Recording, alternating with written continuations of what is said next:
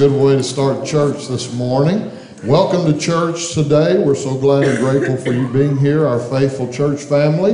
Thank you for being in your place. I see uh, returning guests as well as first time guests. Also, we want to welcome those who are joining us through our live streaming uh, today. I do want to make note it's good to see Miss Darlene Ramsey and her family uh, with us today. We'll be having uh, Brother Don's uh, homegoing service this afternoon at 2 o'clock here in the auditorium. I hope that you can make it. And uh, it's going to be a wonderful celebration of a great man's life. And um, uh, he's doing okay this morning. He's doing okay uh, this morning. And so uh, we're going to celebrate his life at 2 o'clock, but it is good to see. Uh, the family here uh, this morning. Shake their hands, hug their necks when we have shake hand time, if you would. I wanted to read a thank you card. It says, saying thank you seems so small. Thank you for the cards. Thank you for the calls. Thank you for the text. Thank you for the visits. But most of all, thank you for your prayers. I love my church family. That comes from Brother Ronnie Adams. Uh, Brother Ronnie has been uh, suffering with terrible uh, sciatica and uh, he says, P.S., don't quit praying. How many of you know he has bigger problems than sciatica, all right? So keep praying for him, all right? And especially Miss Judy. I pray for her. Brother Mike Metters. Where is Brother Mike? Is he not in here? All right, let's pray. Heavenly Father, we love you. We thank you for your great love for us. We thank you for the opportunity to assemble uh, together here this morning and to praise you and to uh, hear a message from your word and to fellowship with one another. We pray everything that is said and done today would honor and glorify you. We pray that we would be a blessing to others today. In Jesus' name we pray. Amen.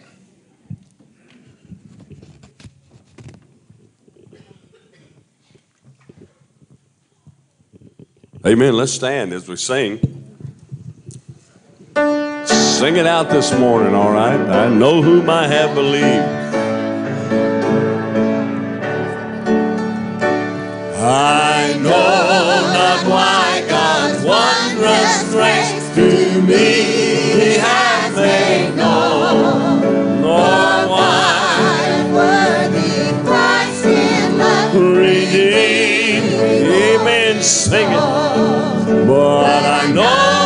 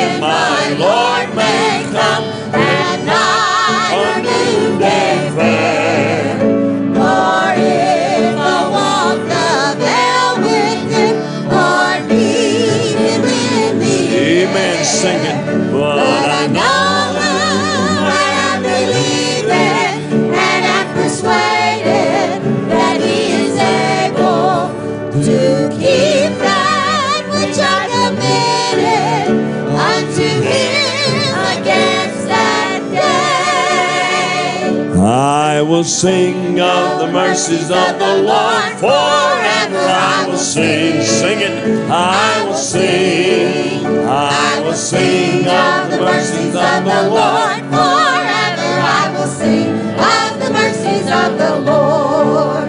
With my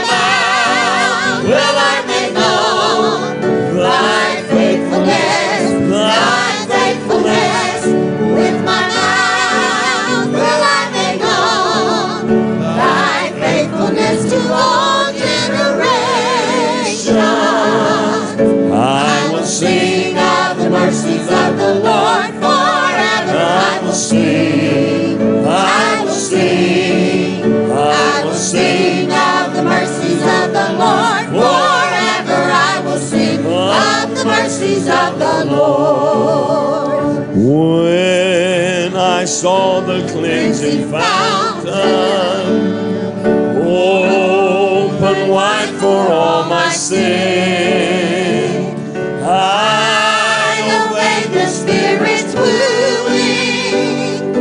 When He said, Wilt thou be Sing it now. And I will praise Him.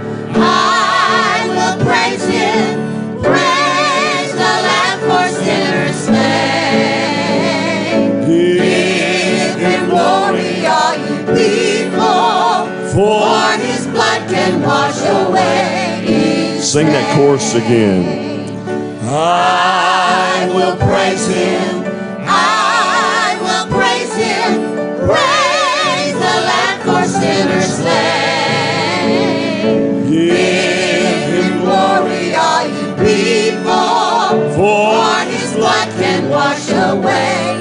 Amen. Turn around and shake somebody's hand this morning. Tell them you're glad to see them.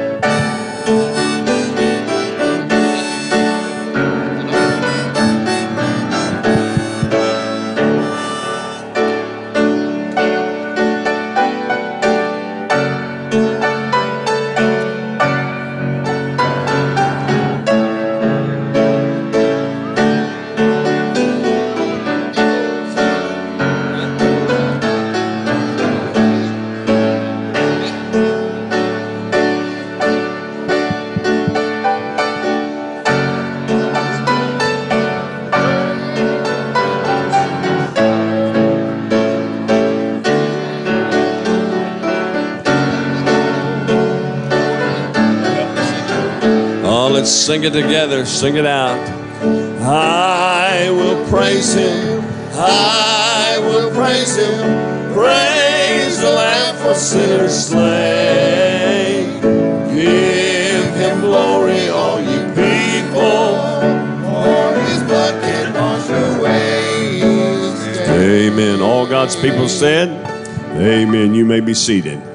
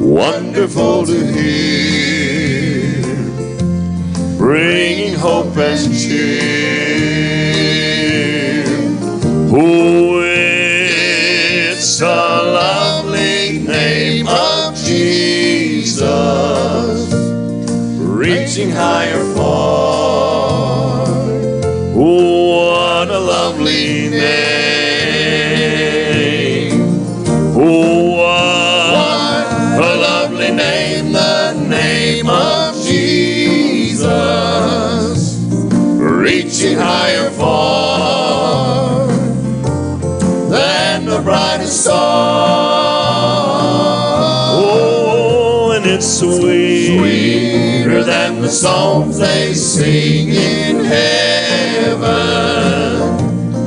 Let the world proclaim.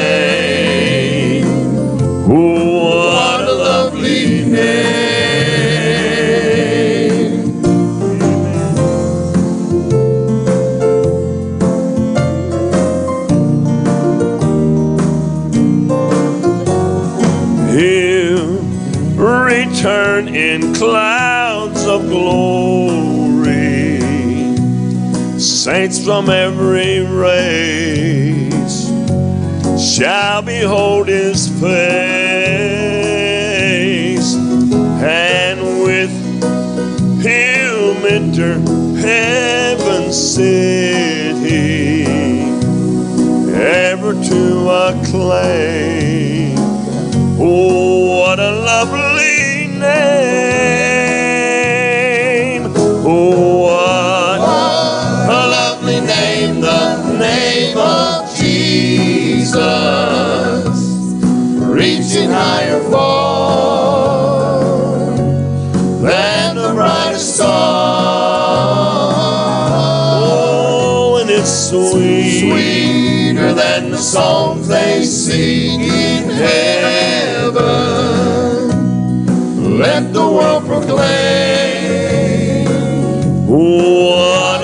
Amen. Sing it with us, won't you, if you know it?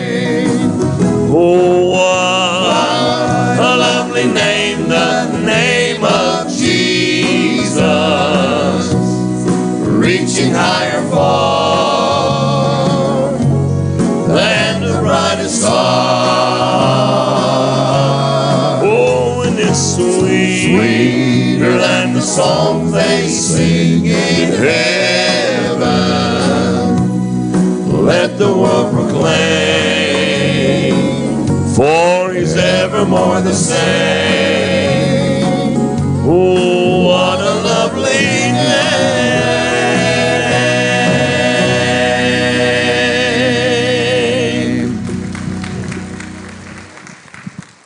Praise the Lord. Thank you, fellows, for that. That was a blessing. Today we honor Miss Tawana Adams as our church receptionist, church secretary. Uh, she's put up with a lot in 30 years. Let's honor her, Miss Tawana. Come on up here if you would.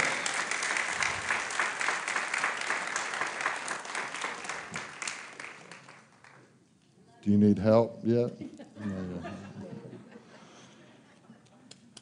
Make sure you let her know how much you appreciate her. We have a small token of our appreciation for you. And uh, let's, uh, let's give her another round of applause. Thank you, Miss Tawana. She didn't, she didn't want to give a speech, so, uh, but we know she likes to talk. So uh, if you can get with her personally, I'm sure she uh, has a speech to, to tell you. Brother Tony. All right. Well, if you are a teenager or parent of a teenager and they are going to the youth conference, we need to meet immediately after the morning service in the rooted class just behind here. Uh, we look forward to a great week. We hope you'll be praying for us as we travel this week. Uh, got a long ways to travel, and pray for the speakers and pray that um, the truth would be proclaimed and and, and hearts would be challenged and changed. That's what it's all about. Uh, and today, during Kids Church, we want you to understand what we're uh, what they'll be learning today. And today we'll be looking at Paul uh, or Saul's conversion to the Apostle Paul. You know, um, he was a pretty self-righteous man before he met Christ, wasn't he? You know, but here we're going to talk about today is Paul's faith in Christ changed his life forever. He exchanged his self-righteousness for Christ's righteousness. And we hope that our kids understand today that Jesus, when you come face to face with him, he can change your life forever. But Paul had to repent of his old way of life. And God changed his life forever. And thankfully, we're still learning from the Apostle Paul and, God's, uh, and God using him to communicate his word today. So we're thankful for what God can do in a life of somebody who is actually against the church. God's grace covers a multitude of sins, even the greatest of sinners. That's what we'll be learning about and celebrating God's grace today. Let's pray. Lord, we love you and we are thankful for you. Thank you so much for dying on the cross for our sins. Lord, we pray that if there's anybody here today that hasn't experienced the grace that comes from your cross, Lord, that we would repent today of our sins, Lord, that we would understand that we are sinners separated from God who is holy. But Lord, you sent your Son, Lord, to exchange our self righteousness for your righteousness. Lord, we love you and just pray that you're honored and glorified throughout the remainder of this service in Jesus' name. Amen. If you're three through 11 year old, would you please stand? And if you're visiting with us today and have a, a child during that, uh, in that age group, if you would escort them, follow the stampede of children to the back, we have a registration form to, uh, uh, for you to fill out so you'll know exactly where your children are today. Thank you. All right, let's sing while they are leaving for Kids Church. Jesus loves the little children. Jesus loves the little children, all the children of the world.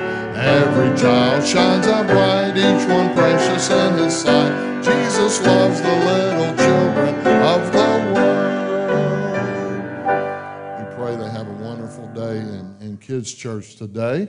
Let me give you some announcements. These are in your bulletin. Ladies' Wings meeting is tomorrow evening at 6:45. There's a sign-up sheet for that.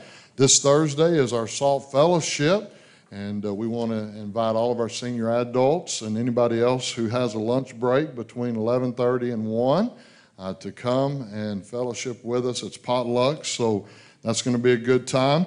Pray for our young people and uh, our leaders. They will be going to youth conference this Friday and coming back on Sunday. And then let's remember our Men of Valor Bible study this Saturday. There's also a lift activity, ladies in fellowship together, uh, on this Saturday at 9:30 as well. On the back of your bulletin, uh, you will find a logo that says, "Don't just come to church, be the church." And we are inviting those of you who would like to to get involved in ministries here at our church.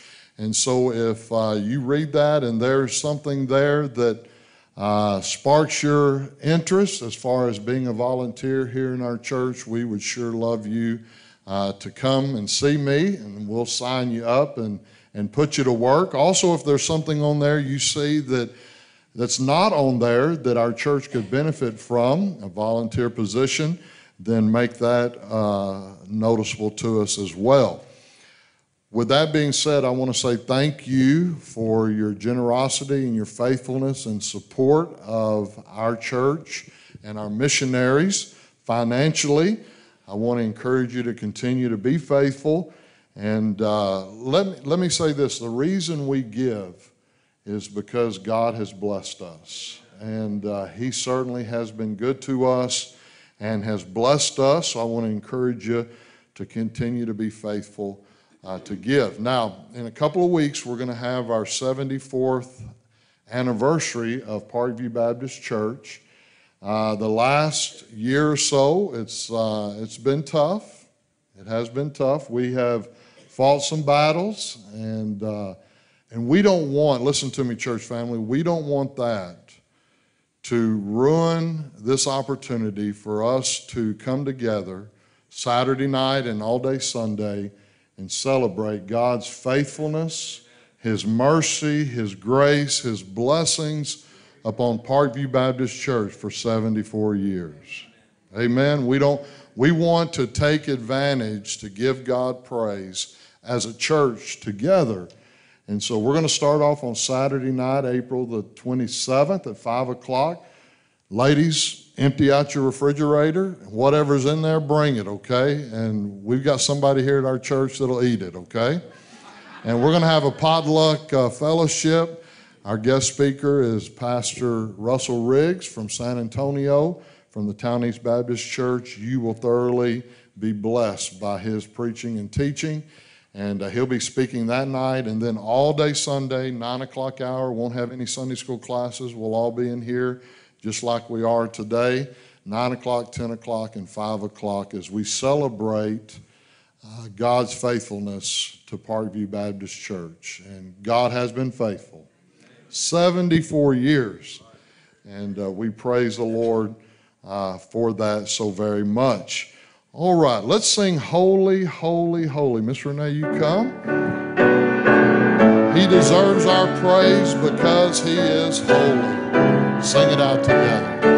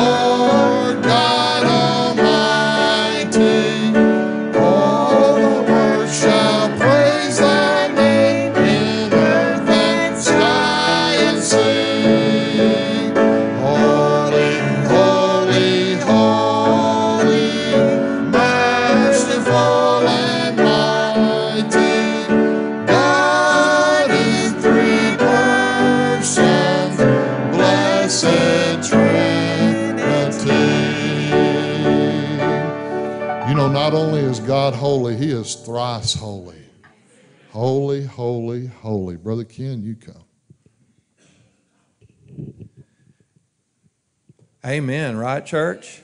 Amen. I like that. Mighty and merciful. That's not something man is, both mighty and merciful. But we serve a mighty, merciful God. I have asked uh, Brother Jake Swim to come pray. Now, that's right, Jake. Come on up here. I tell you what, uh, we love Liz, Drake, and Addie.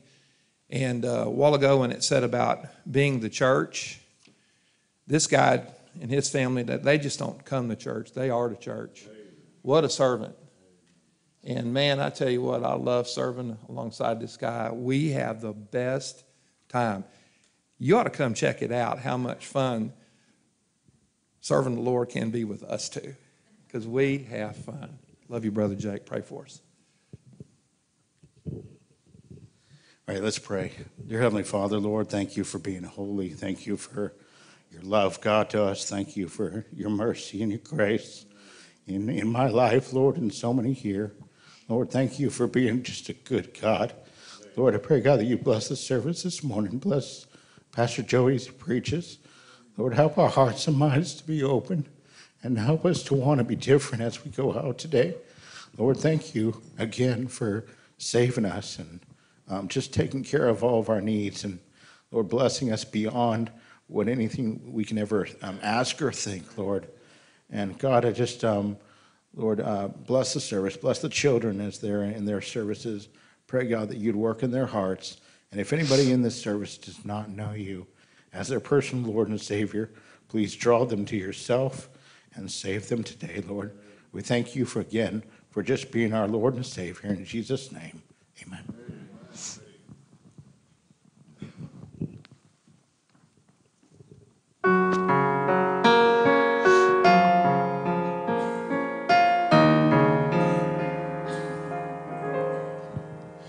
The sky shall unfold, preparing his entrance. The stars shall applaud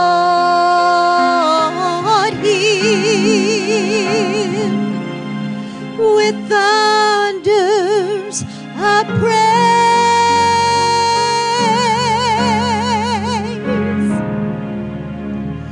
The sweet light in his eyes shall enhance those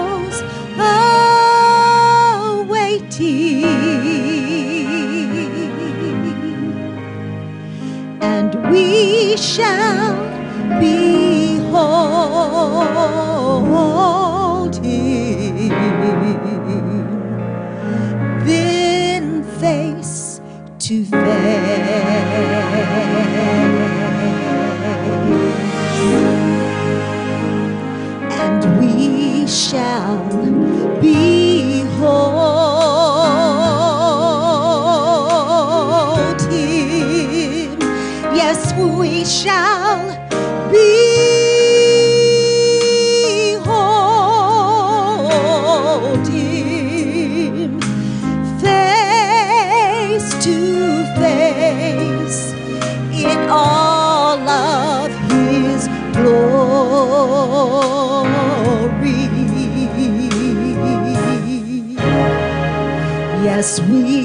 glory. Yes, we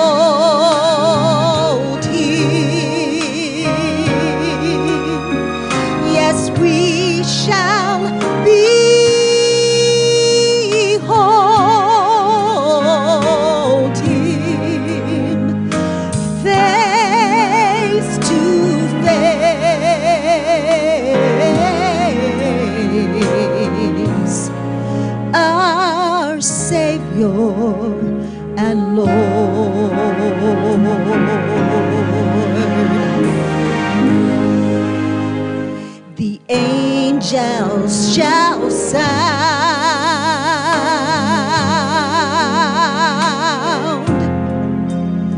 with the shout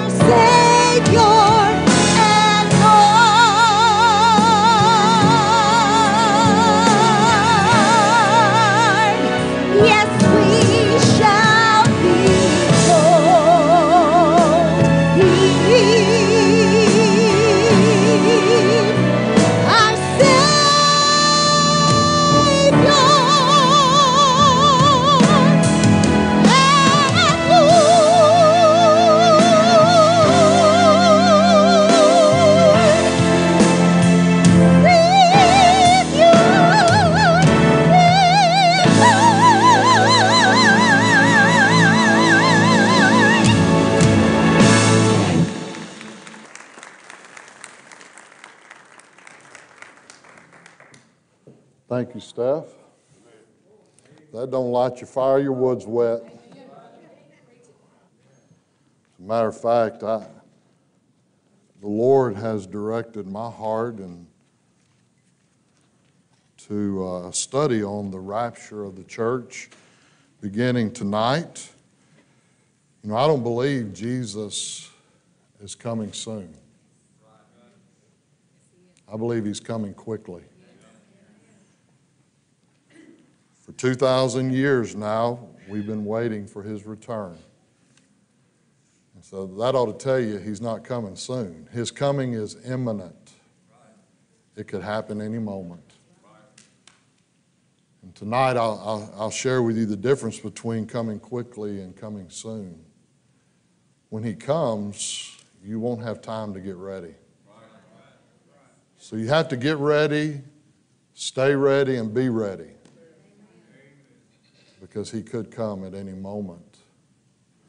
And that's how he wants us to live. And we often forget that. And so, looking forward uh, to that. But I'm really looking forward to this morning. 1 Corinthians, if you have your Bibles, go ahead and turn there. To chapter number two, we're going to look in detail at uh, verses 1 through 5 this morning. Last week, we looked at one phrase uh, in verse number 1 where the Bible says, When I came to you, speaking of Paul's coming into Corinth to minister the gospel. He, he went to the Jew first and then to the Greek. The Jews rejected it. And so he spent his 18 months there uh, with the Gentiles. And uh, we're going to look at verses 1 through 5 in, in context this morning about him coming in and um, the things he had to say about uh, his ministry. Okay, in this section, Paul is speaking about his ministry among those in the Corinthian area. Um, verse number one, and I, brethren, when I came to you, came not with excellency of speech or of wisdom, declaring unto you the testimony of God. The purpose of this speaking of his ministry, how he taught and how he preached, is to emphasize what he spoke about in the previous chapter. Namely, that his ministry was not, get this, of the wisdom and power of man. It wasn't in his eloquence, it wasn't in his giftedness, it wasn't in his ability, it wasn't in his talent. But Paul's ministry, and can I say this? Every biblical ministry there ever has been is always in the wisdom and power of God. Did you hear that? It's not in the wisdom and power of man, it's in the wisdom and power of God. And so Paul con- uh, conducted his ministry of preaching and teaching, could I say, different than many men do in our day and time. Matter of fact, Paul's way of doing ministry in the wisdom and power of God was radically, everybody say radically, it was radically different from how the world and worldly men do church ministry. Can I tell you that our standard for church ministry here at Parkview Baptist Church is not some other church? Here at Parkview Baptist Church, we never want to lose our identity of being a biblical, New Testament local church. It is so sad. Can I say that again? It is so sad to see biblical churches starting to adopt what worldly churches are doing in order to get a crowd. And before long, they are worldly and they have lost their identity of being a biblical church. Our standard is the Word of God especially the church epistles and the pastoral epistles. You say, what are those? First and Second Corinthians, Galatians, Ephesians, Philippians, Colossians, First and Second Thessalonians, First and Second Timothy, Titus, and then Revelation chapter 2 and chapter 3. Here at Parkview Baptist Church, on Sunday mornings, you will get a healthy diet of those books of the Bible that I just mentioned. Because those books of the Bible are our biblical mandate, our biblical pattern on how to do church ministry. Church ministry based on the biblical model of church ministry is always going to be different. Can I say that? It's always going to be different. And I mean radically different by, by the way the world does church. How many of you know the world does church? Someone has said that the world has gotten so churchy and the church has gotten so worldly that you can't hardly tell them apart. That, that should not be so. Could I get some guys to help me real quick, Brother Chris and Brother Steve and Brother Ken? I already had them picked out. I had visions and dreams about y'all last night. Stand right. Stand right. One of you stand over here, far away. You've seen this illustration before. We're going to pretend, this is just pretending, okay? That Brother Chris is, is God, okay? Oh. We're going to pretend that Brother Steve is the church. And we're going to pretend that uh, Brother Ken is the world. Woo! The world, the Bible tells us, is waxing worse and worse. The world is not getting closer to God. Matter of fact, the world's getting farther from God. Go on. And can I tell you, the modern American church is getting farther away from God too.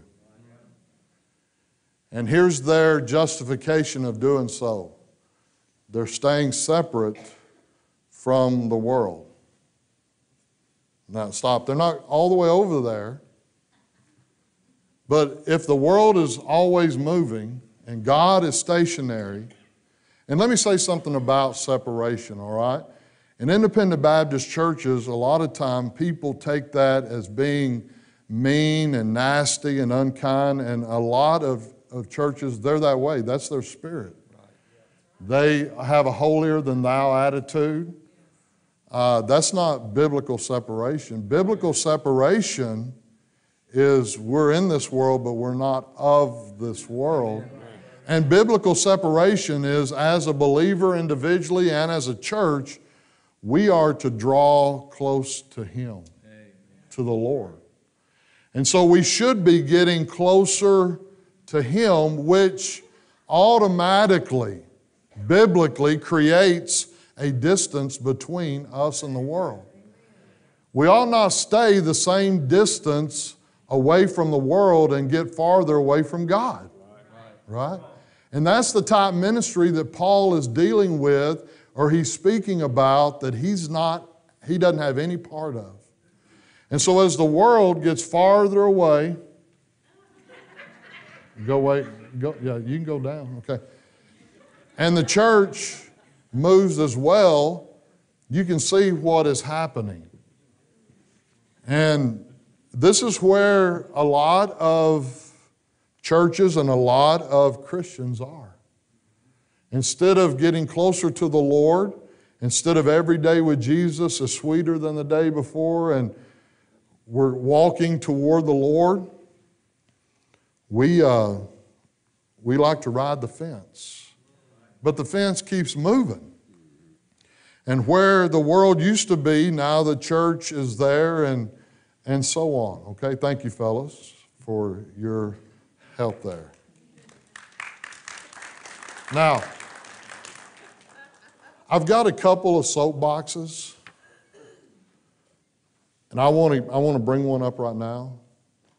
That illustration, which is exactly what the Bible teaches, proves to us that the condition of the world is not the report card for the church.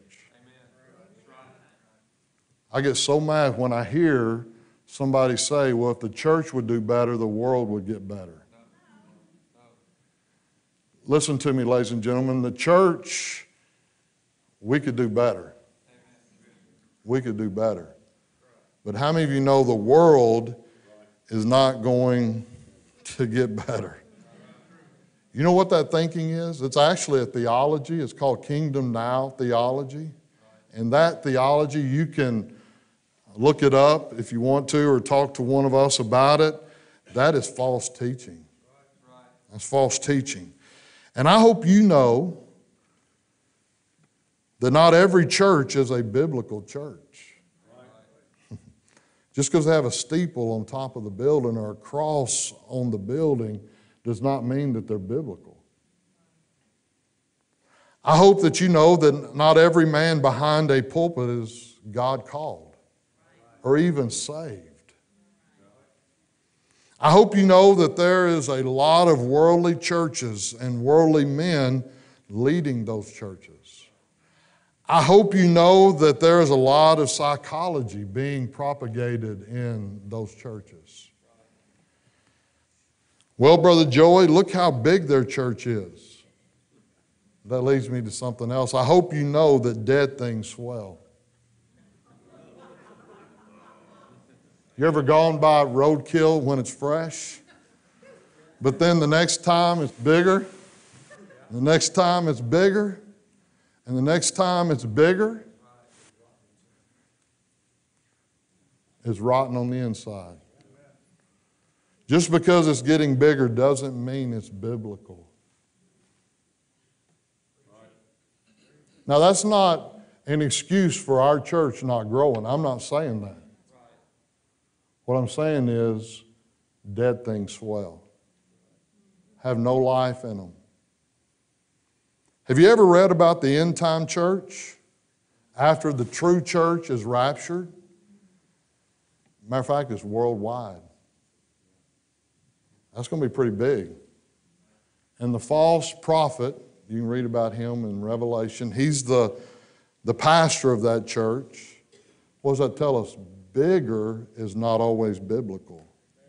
Here's the best way I found to define the church it's those of us who have believed the gospel, and upon believing the gospel, we've been called out of the world by the Holy Spirit and baptized by the Holy Spirit into the body of Christ. That's why there's in the universal church or the church at large, the body of Christ, there is no unsaved people there. It's all saved people who have been called out of the world and placed into Christ's body. There's no saved people there. Now, there unsaved people there. There's unsaved people probably among us today. Because in the local church, you can come to a local church and be unsaved. But you can't be part of the true church, the body of Christ, the universal church, and not be saved. Everybody understand that? That's what happens when, when you believe the gospel and God saves you, He baptizes you into the body of Christ. He calls you. The church, definition of church is what? Called out assembly. Called out of what? The world. We've been called out of the world, therefore, we should not be worldly minded or love the world or be of this world. Believers, how many of you know this? We are to love God and each other. We're not to love the world and possessions. Love not the world, neither the things that are in the world. For all that is in the world is the lust of the flesh, the lust of the eyes, the pride of life and here's what Jesus or John said under the inspiration of the Holy Spirit Whoever loves the world, the love of the Father is not in him. The world. There's three ways the word world is used in our Bible. You have the cosmos, the earth, the world. Then you have the world system.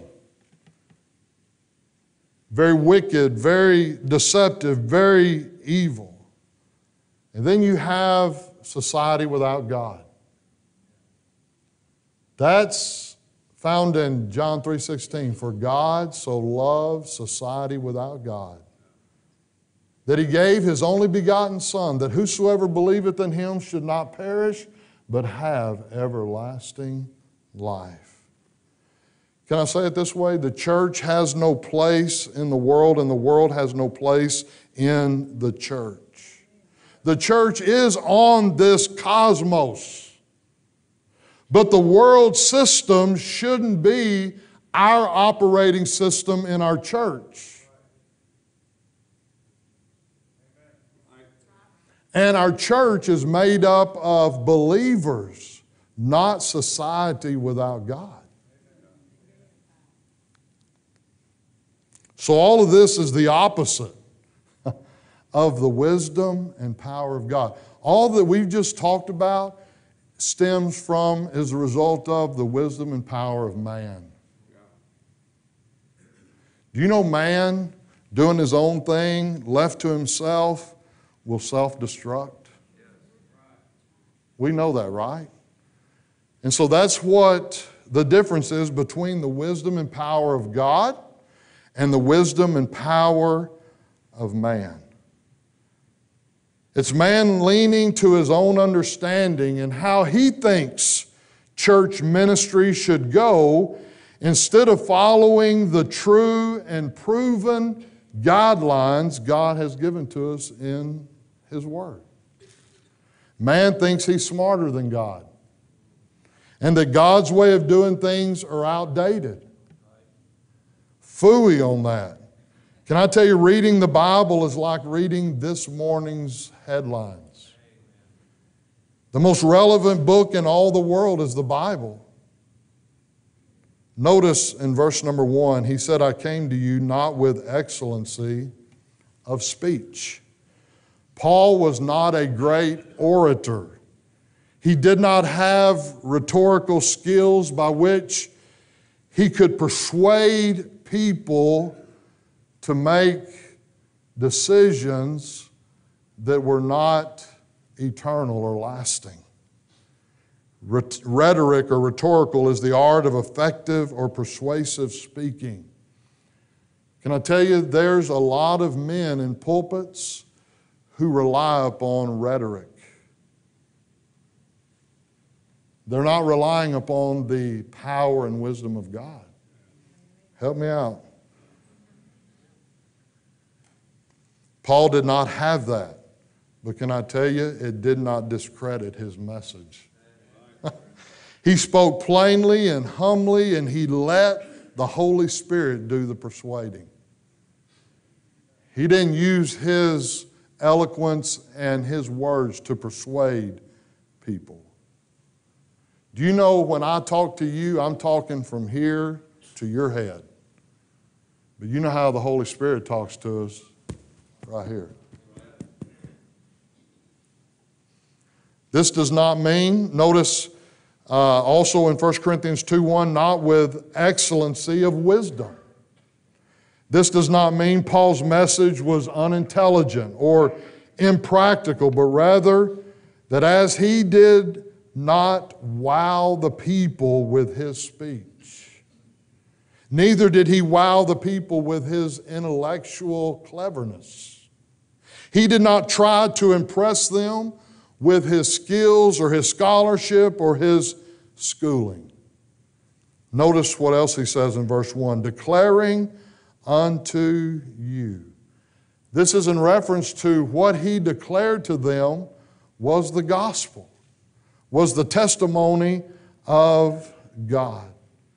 Here, the testimony of God refers to the gospel and also the scriptures in general. And so that's what a pastor is to do. The pastor is to declare what God says, not what he thinks as the pastor. Right? What, what the Bible says, period, is what changes lives. Not what the pastor says about what the Bible says. Now, wouldn't it be great if we could come and me just read you the Bible for 30 to 40 minutes? There would be three of us here and one of them wouldn't be my wife. But we've, we've grown so accustomed that we have so little scripture in our messages, in our Sunday school, in our Bible study, and we have a whole lot of what man says about God's Word instead of just what God's Word says. Amen. You know, you know what the parameters of our preaching and teaching is? Notice 1 Peter chapter 4:11. If any man speak, let him speak as the oracles of God. As the oracles of God. That's our boundaries. We're not to go outside this. 1 Corinthians 2 2, as we continue on. For I determined not to know anything among you save Jesus Christ and Him crucified. And so here he starts talking about his motive in his ministry to these people. He gives us a bit of insight into some of his motive in his ministry in Corinth. Notice the word there, determine. That word does not mean, uh, it actually means to decide. It does not mean effort, determination. It means to make a decision. Paul had decided before he ever came to Corinth that his ministry would be singular in nature. Not to know anything among you. This does not mean Paul would refrain from being a busybody. How many of you know preachers are nosy? Right? They like to know your business. That's not what that means to know nothing among you. But the only thing he needs to know for his ministry to be effective in Corinth is the scriptures. A pastor doesn't need to be nosy and know everybody's business to be effective in his preaching and teaching. There are some preachers who think that that makes them relevant. But can I tell you, as I said a while ago, this is the most relevant thing in all the world. That's why we teach verse by verse and doctrine by doctrine, and we let God's word get into your business. That's a lot safer for me. If God gets in your business instead of me. And how many of you know this book knows what your business is before we ever get started, right? Hebrews 4:12 for the word of God is quick and powerful and sharper than any two-edged sword piercing even to the dividing asunder of soul and spirit and of the joints and the marrow, and is a discerner of the thoughts and intents of the heart. As the Bible is, as you are reading the Bible, the Bible is reading you. Yeah. It knows, it knows the thoughts and intents of our hearts. That's why we're safe just preaching the Bible, just teaching the Bible, just telling people what the Bible says. Because you can fool the preacher. That's why I don't call you before when I come see you. I, I want, I, I want the cigarettes out. I want the beer. I, you know, I want, you, I want you to be you when I come see you. And hey, I do have a sneaking suspicion when I ring the doorbell and it takes you 10 minutes to get there. All right? notice, notice what he did. He, oh, we got to go back to verse number two. He preached Christ crucified. You know, we can, we can preach Christ as an example, as a teacher, as a miracle worker, and all these things, but the emphasis of Paul was on the cross. And the emphasis of Paul's ministry there in Corinth was Christ crucified. And notice what he says in verse 3 And I was with you in weakness and in fear and in much trembling. Do you know what that phrase tells us right now? It tells us that Paul's ministry was of God, not of human nature. I was with you in weakness and in fear and in much trembling. The character of Paul's living in Corinth showed the need of divine power to allow him and, and give him strength to minister. As Paul later said, not that we are sufficient of ourselves, but our sufficiency is of God. Do you know and understand what we're talking about today? Paul's ministry depended upon God and not himself. No pastor can serve God and his people well without the wisdom and power of God. Now, he can get the job done with the wisdom and power of man, but he can't be a biblical pastor without the power and wisdom of God in his ministry. Verse 4 Paul said, In my speech and my preaching was not with enticing words of man's wisdom, but in demonstration of the Spirit and of power. Again, Paul did not uh, rely upon his talent, upon his ability, but he relied upon the power of the Holy Spirit. Can I tell you there's nothing wrong with being grammatically correct when you are presenting the gospel or you are preaching the word of God? But can I tell you, we need more than grammatical correctness in our preaching and teaching if we're going to be effective. We need the wisdom and power of God. And then we come to verse number five. Why is that? Why did he not rely upon his abilities, but upon the wisdom and power of God? Here's the reason that your faith should not stand in the wisdom of men, but in the power of God. Do you know why so many of us through the years keep making the same decisions over and over and over and over? Because decisions based on the wisdom of men are only temporal. But how many of you know whatever God does, He does forever? When He saved us, He saved us not for just a little while, it's forever. And when God, when, when ministry and the teaching and preaching of God's Word is done, relying upon the power of God and the wisdom of God, decisions that are made will be lasting.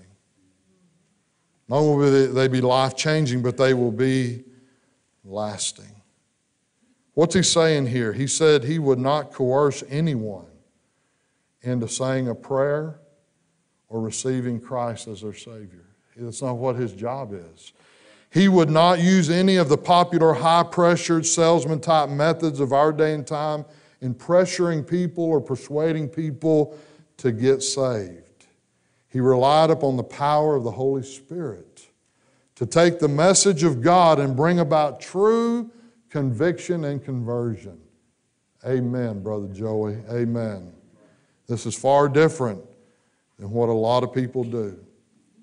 And so let me summarize our text just by saying this. Paul emphasized that when he first came to Corinth, he himself was not that impressive. He said that up front. Not only were his presentations marked by weakness, fear, and trembling, Paul also made a choice not to try to impress the people with his own vast knowledge or skill with words. Instead, you know what Paul did? He presented the truth about Jesus as clearly and simply as he could. This would, been, this would have been a major contrast to the entertainers in his era. How many of you know entertainers are not new? They, they've been around for a long time. In addition, God accompanied Paul's teaching with a demonstration of his power and his spirit. The advantage of this, Paul now writes, is that those people's faith rest on God's power and not on Paul's persuasiveness with words of human wisdom. I do not, and neither do you, want to stand before God one day, having persuaded or pressured somebody into saying a prayer, giving them a false profession, a false assurance, because it's in human wisdom and not in the power of God, I would hate to stand before God knowing that that's what I did and that person busted hell wide open when they died. How awkward is this? How awkward is this? Have you ever led someone to the Lord and you're talking with them and somebody else later and they'll tell the person you're talking with, Joey led me to the Lord or Steve saved me. That's awkward, isn't it? Because that's not how it's supposed to be. The man that led me to the Lord did it the right way. I'm sure the person who led you to the Lord did it the right way because you got saved. How wonderful is that? You know how they do it? They present the gospel, they teach you what the Bible says, and then they allow the Holy Spirit to do the applying. They allow the Holy Spirit to do His work. Do you know how we know the, the Bible is true? You know how we know the Bible is true? We know the Bible is true because you don't need to add man's charisma, his wisdom, his tear jerking stories, his eloquence for the Bible to make eternal changes in your life. You don't need any of that stuff. That's how we know the Bible is true. Unless, unless you come to church or come to Sunday school or come to a revival meeting or come to a conference to hear a man preach and teach instead of hearing from God's Word. You still with me? Do we love the Bible as we should? The test is how much time do we spend reading and studying it. Some believers spend more time in the daily bread than they do in their Bible. They spend more time in devotional books than the Bible themselves. I'm not saying daily bread and devotionals are wrong. I'm saying if you spend more time in those things than the Bible, that's wrong. Amen, Brother Joey. Well, let me close by reading you a passage of Scripture out of Nehemiah 8. And all the people gathered themselves together as one man into the street that was before the water gate. This is in Nehemiah chapter 8. So they all came together as one. They're unified, they're there in unity. And they spake unto Ezra the scribe to bring the book of the law of Moses. In other words, Ezra didn't show up and tried to get a crowd. The crowd assembled and they tried to get Ezra to bring the book. I think they, they had a love for the law. And they spake unto Ezra the scribe to bring the book of the law of Moses, which the Lord had commanded Israel. And Ezra the priest brought the law before the congregation, both of men and women, and all that could hear with understanding upon the first day of the seventh month. Now, here's where it gets it gets fun. And he read therein before the street that was before the water gate from the morning to midday. He didn't, he didn't do expository preaching.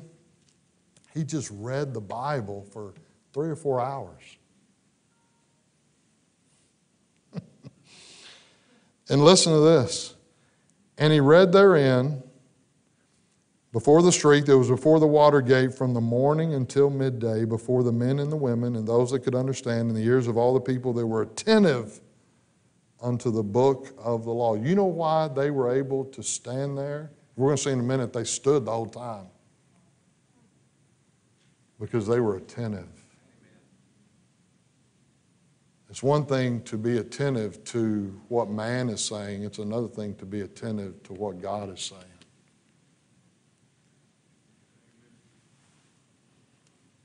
I thought this would be good. I really did. Last night when I was putting this down, I thought, man, they're going to be shouting me out. and Ezra the scribe stood upon a pulpit of wood. That's where this comes from. Which they had made for the purpose. And beside him, he had a staff of men that stood up there as well. He opened the book in the sight of all the people and when he opened it, the people stood up. And he read for three hours. And you know what those men did? Those men then went out into that crowd individually explaining to those people what he read. So they weren't just standing up, they weren't in an amphitheater, they were in the street. So they stood for three or four hours listening to him read, and then they stood forever, I don't know how much longer, to let these men come and explain to them what was read. I think they had a desire for God's Word. And the Bible says that they read distinctly and gave the sense and caused the people to understand the reading. Let me just say this and I'm through. When studying the Bible, when teaching the Bible, the power comes from the Holy Spirit illuminating our minds and revealing to us what the Bible says. Here at Parkview, we want to teach the Bible in a plain way, just telling you what the Bible says. We want to teach the Bible as it is to people as they are. We don't want to use the Bible as a billy club, beating people over the head. We just simply want to tell you hey, here's, here's what it says. And let the Holy Spirit illuminate that to your mind and reveal to you what the Bible is teaching. We want the Holy Spirit to be able to apply the Bible without man interfering. Amen? Amen. Miss Marilyn, would you please come and help me? If you know you're saved and you're not ashamed of it, would you raise your hand real high? Wave it to me, all right? Maybe you're here this morning you have questions about being saved. It's the most important decision you will ever make in your life. And can I say this? It's your choice. God didn't choose some of these people over here to be saved and some here, and if He didn't choose you, too bad. No, that's not what the Bible teaches. The Bible teaches that all of us have a choice to be saved. If God is speaking to your heart and revealing to you that you need to be saved, I wish that you would come and let's take the Bible and show you how to be saved.